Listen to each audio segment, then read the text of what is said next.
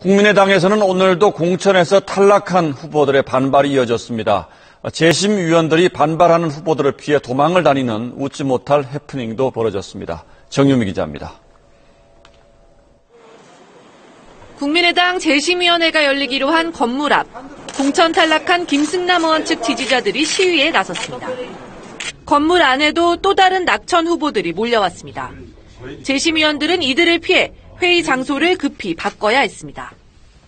이해관계들이 많아서 제가 좀 공정하게 심사하기 위해서 좀 장소를 바꾸려고 하고 있습니다.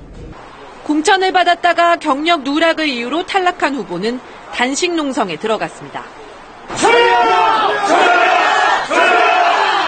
천정배 대표 지역구를 노렸던 김하중 교수는 무소속 출마를 예고했습니다. 잇따르는 반발 때문에 안철수 대표는 오늘도 엘리베이터 타기가 쉽지 않았습니다.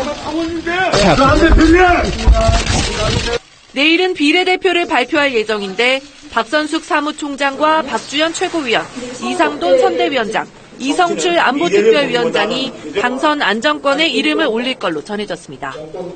비례 1번은 더불어민주당처럼 여성 과학자를 영입한 걸로 알려졌습니다. 비례대표를 신청하러 공천위원직을 중도 사퇴한 세 사람은 최종 명단에서 빠질 가능성이 높아졌습니다. 비례대표에 자기 사람을 심기 위한 안철수, 천정배 두 대표 측 간에 힘겨루기가 진행되고 있다는 해석이 나왔습니다. SBS 정림입니다.